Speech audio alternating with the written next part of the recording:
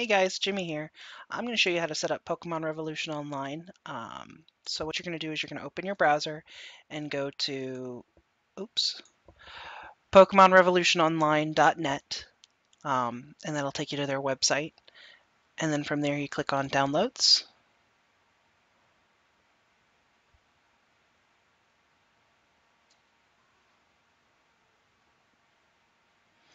And it gives you five choices. Um, these ones are the ones we're focusing on. Uh, we're working on Windows today. Uh, so we are going to either download the x86 or the x64 version. Now what that is, is that refers to the processor type that you have in your computer.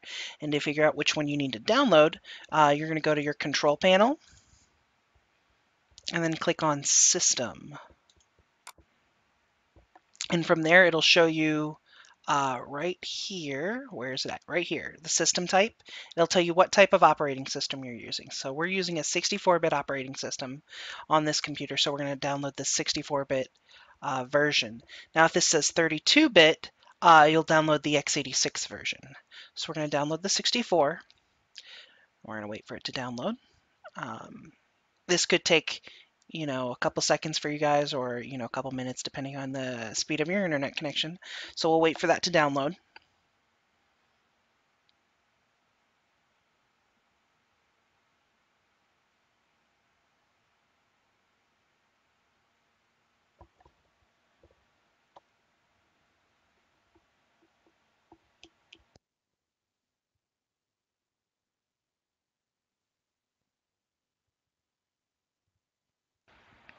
All right, so we're back.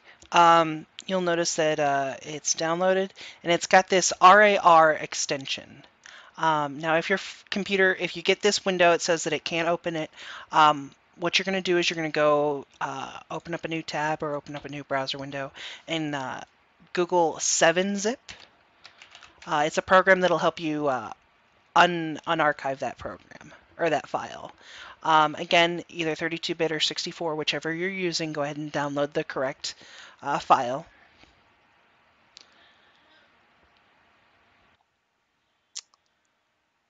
And we're going to install this.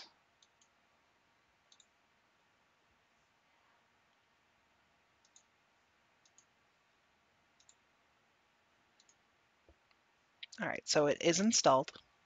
And now when you go to open that file, go to downloads, we're looking for Pro 64, and then you're going to select a program from the list of installed programs.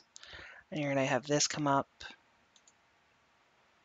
You go to 7-zip, and then use this 7zfm.exe. Uh, come up, and you have these two files here. What you're going to do with these is there's no installer for this. So what you're going to do is you can copy them anywhere on your computer. Um, for mine, I just uh, copied it to the programs files.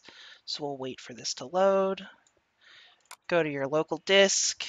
64-bit, um, I put it in here. And then you're just going to copy these files into here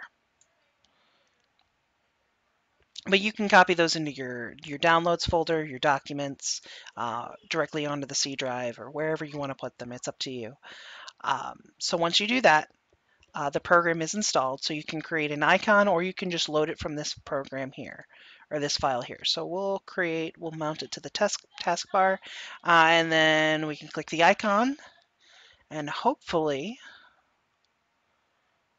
with any luck, the program should open. There we go. And here's your Pokemon Revolution Online. You accept, and it's going to load and let you log in. Um, again, you'll have to create a login, and you can do that from their website. Oh, loud music.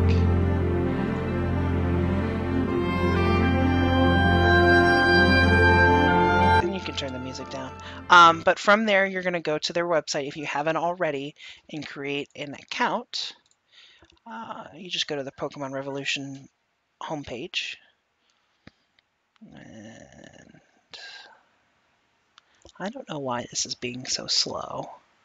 Oh, this took me to the forums. Okay, so we'll just go to the main website. And you register. create a unique username, password, email address, and then they'll email you a uh, confirmation email. And then from there, it usually takes about five ten minutes for you to be able to use that login in the game. Um, you'll notice if you try to log in, it won't really do anything. So just give it a little bit and then uh, you should be able to get in. Um, so we'll see you there and have fun. Bye.